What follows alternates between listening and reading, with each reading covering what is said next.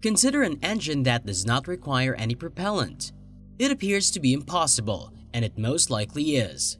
That hasn't stopped one NASA engineer from developing a hypothesis about the EmDrive, a helical engine that could defy physics and generate forward thrust without the use of fuel. In this video, we will discuss how such a creation would allow us to travel the far reaches of space, and this would arguably be the most exciting technological advancement of the century.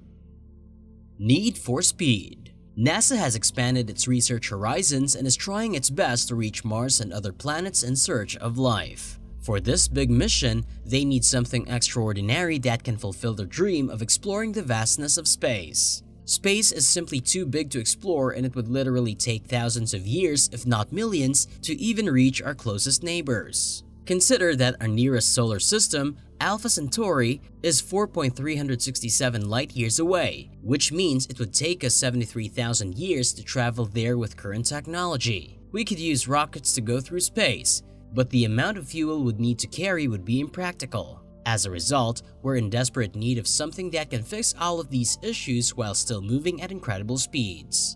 However, even rockets have limitations, such as the speed at which they can propel a spacecraft. We'll need something that can generate a lot of thrust without requiring a lot of gasoline because there are no gas stations in space. NASA has recently been at the top of its game, and they are always attempting to solve bigger problems. In his spare time, NASA engineer David Burns has been doing just that. He claims to have created a concept engine that could hypothetically accelerate to 99% of the speed of light. If you think that's wonderful, just wait, it gets even better. This engine would not even need propellant to do this. This engine, according to reports, would propel a spacecraft around without the use of fuel and creates no exhaust. Simply plug it in, turn it on, and go. It's known as the EmDrive or Impossible Engine, since it claims to be able to perform the impossible.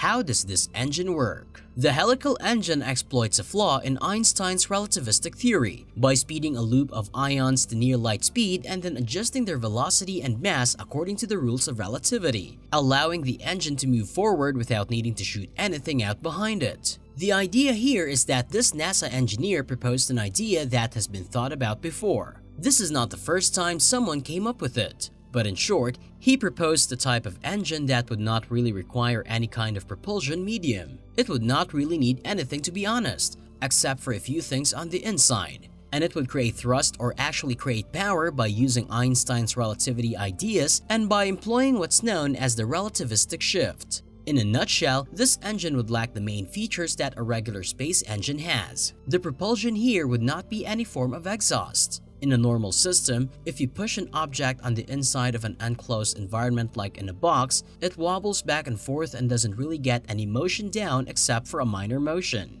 So in other words, you can't really make an engine with this unless you suddenly start accelerating this part to what's known as relativistic velocities. And so the basic principle here is that as you get closer and closer to the speed of light, there are a lot of things that start happening a little bit differently for you. You may already know about the so-called twin paradox and this of course refers to the fact that the time for one of the twins traveling closer to the speed of light starts to slow down. So when the twin returns to Earth, he or she will actually be a little bit younger than the other. But it's not just the time, it's actually a lot of things. It's things like the length that also changes and of course the mass. So in this case, as you move closer and closer to the speed of light, the mass of the spacecraft goes up dramatically. This is what we refer to as the Lorentz transformations. And when the Lorentz transformation is applied, the transformation here actually increases the mass of the object to the point where it starts gaining acceleration and of course velocity. And this will continue until the object is moving really really fast. So in theory, this is totally possible. This is actually a very logical and very solid theoretical model that could technically work.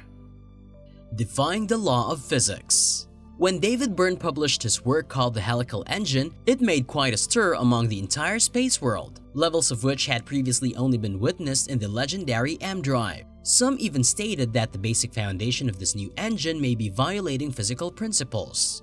Some claim that while the engine concept is fantastic, it's only so on paper because it's practically impossible to realize. So let's analyze it. Both the EmDrive and Robert Cook's engine were never satisfactorily proven and broke the conservation of momentum, a fundamental physical law. The principle of momentum conservation, which states that the momentum of a system remains constant in the absence of any actual forces, suggests that this helical engine should not even be possible. However, there's the special relativity loophole. Unlike the other devices, the helical engine employs special relativity, which states that an object develops mass as it approaches light speed. Burns envisions replacing the box in the ring that he used in his illustration with a more helix-shaped accelerator that generates net thrust in the desired direction. The engine would then accelerate ions contained in a loop to relativistic speeds and then modify their velocities to alter and change their mass. The engine moves the ions back and forth. The engine has no moving parts except for the ions traveling in a vacuum line while being trapped inside electric and magnetic fields to produce thrust. So far, everything has gone pretty smoothly. The engine concept has yet to be reviewed and tested, and many are already questioning whether it will be a success. If it does show promise and prove to be a success, several fundamental physical rules will be called into question. Others say that it would not necessarily break the laws, but rather enhance our grasp of the principles of physics, implying that we may have a lot more to learn. In any case, unless there are precise physics tests and proof to support it, the principles of physics will remain unaffected. A lot of people criticized Byrne for his latest paper, yet we thought that this engine couldn't function but we also thought that this engine couldn't work out, where the energy would come from while at the same time, how much energy you'd need to create such an engine.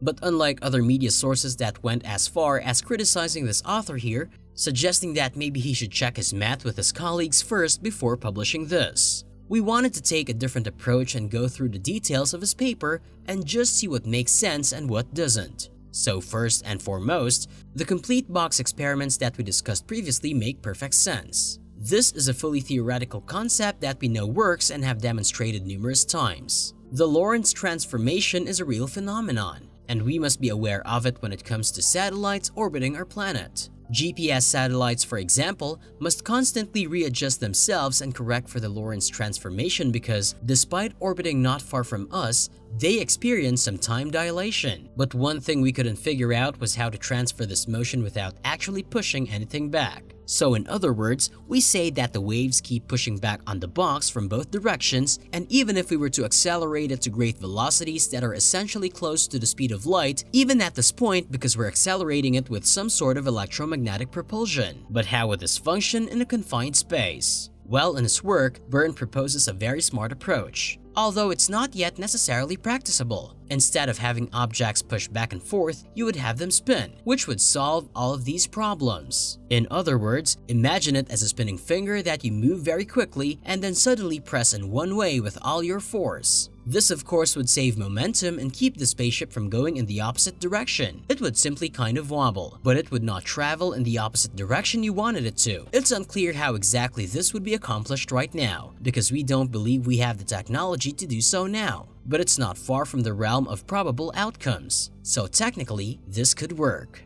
There will always be challenges with anything new, especially something that has never been done before. The new engine is no exception, and many say that the consequences are simply too overwhelming in this case. There are numerous factors to consider when it comes to the NASA helical engine. The size of the engine, for example, would have to be 200 meters long and 12 meters wide to even be considered, making it unsuitable for space flight. It would also have to be extremely powerful, with over 165 megawatts of electricity required to generate a single newton of thrust. That is, a large amount of input would be required for a very teeny tiny amount of output, which is incredibly inefficient. To attain substantial speeds, the engine would also require a frictionless environment in space. Burns himself has indicated that if enough time and power are available, the engine will be able to reach 99% of the speed of light. This machine solely uses Einstein's special relativity, which is where the problem lies because there is always an action and reaction, complicating matters for the helical engine. The helical engine is still on paper for the time being, but it certainly opens up new routes and concepts that could see humanity going into space at the speed of light. A machine of this speed could transport men to Mars in less than 13 minutes or to the moon in less than a second. Dr. Burns emphasizes the benefits in his research, suggesting that an engine of this type might be utilized for longer-term satellite station maintenance,